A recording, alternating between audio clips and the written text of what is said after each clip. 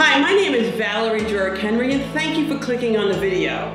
Today I'm going to help you to understand me just a little bit more.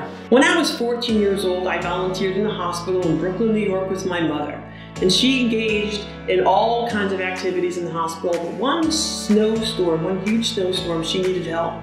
So she asked me to volunteer. And from that moment of helping people in the hospital who were in need, I have geared and I have focused my entire career on working with people. I started out in the healthcare system, and for 40 years, I'm still helping people throughout life, whether it's through medical equipment or services, children and adults. It doesn't matter.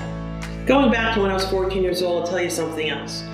My grandmother was a vaudeville piano player, and we all played music in our house. Everybody had instruments, and it was crazy. I remember my mama always yelling, "Stop that racket!" and now she's like, "Where is that racket?" Right? Time goes by. But music has always been a thread in my life. It's been a tapestry. Through that, I love music. I love a sense of humor. I have a wicked sense of humor, and I truly love humor as well in people. I love animals. I'm a diehard for dogs. I work with shelters, and I give as much as I can. I write music, and I write for the shelters as well. And I became an entrepreneur in my life to share my life with people. I wanted to provide solutions for people that have needs. It's not just only medical needs, it's just needs in life. I'm a great listener, I'm a great talker.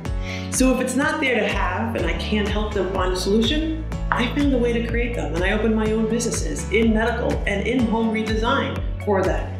So wrapping up where I am today, I absolutely adore my life. There's so much that I have a wonderful journey and I truly want to share this with you. Knowing me gets to know you and we can know each other.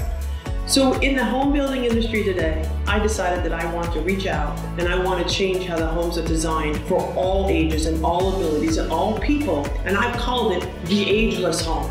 And the ageless home is my heart and my story and my 40 years of life coming to you in your home. Thank you so much, and I'm glad you got to know me a little bit better.